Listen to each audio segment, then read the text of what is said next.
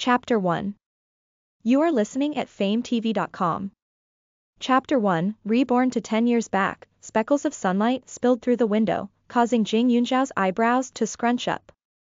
Her eyes slowly opened, and as she rose, she felt a pang of pain in her head. When she caught sight of the long tresses that fell from behind her ears, she paused, dumbfounded. Was someone fucking with her again?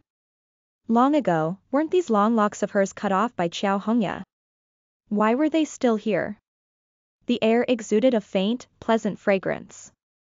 Jing Yunzhao turned her head and saw a bowl of porridge on the table. However, what she saw with just this turn of her head struck her dumb. Her eyes fell on a clean bedroom. She could see her favorite vase on the table, complete with stumps of lucky bamboo sitting in it.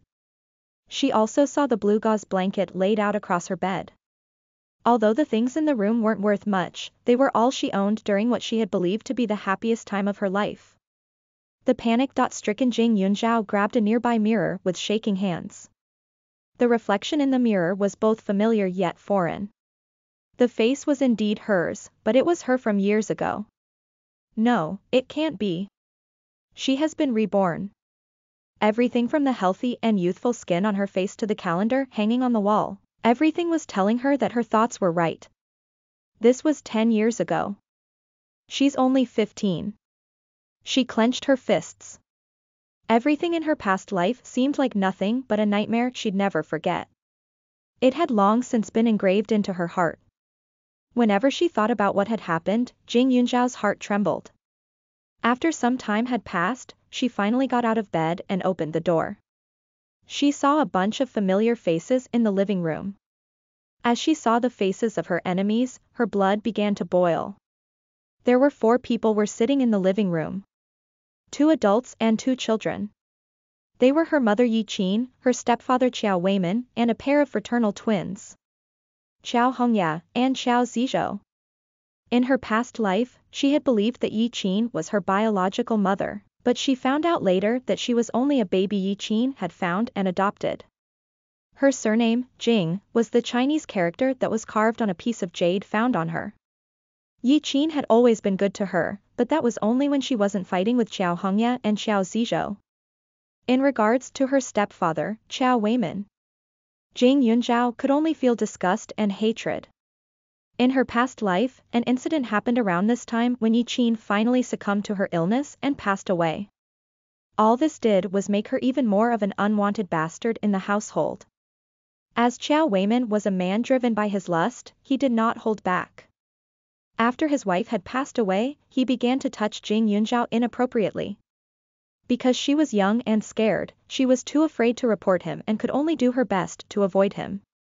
She thought that if she entered college, she'd be able to escape from this monster. But she didn't think that the thought of letting her continue her schooling had never even crossed his mind. He used his position as her legal guardian to force her to quit school. After this, he made her cook and clean for his family. Even though she had spent five years living in fear at that house, she never gave Qiao Weimin what he wanted, T/N. He wanted sexual intercourse. Nevertheless, Qiao Weimin's thoughts and desires were eventually discovered by Qiao Hongya. She spread rumors of Jing Yunzhao seducing her own stepfather, ruining her reputation. Every time she went outside, people would point and gossip. The year she turned 20, she met an old classmate.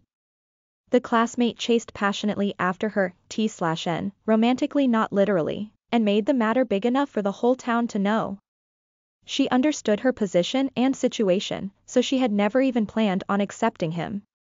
However, Qiao Weimin still didn't forgive her. One night, Qiao Weimin was consumed with rage and couldn't hold it in anymore. He finally laid his hands on her. During that night of resistance, Jing Yunzhao accidentally killed him. It was a clear case of self-defense, but Qiao Hongya and Qiao Zizhou turned white into black and black into white, T/N. It means they altered the truth, and Jing Yunzhao was sentenced to jail. After she was jailed, the person who had been chasing relentlessly after her told Jing Yunzhao that he had never liked her. He had only chased after her because he wanted to stimulate Qiao Hongya. The only person he had ever liked was Qiao Hongya. Listen to the full novel at fametv.com, direct link in the description.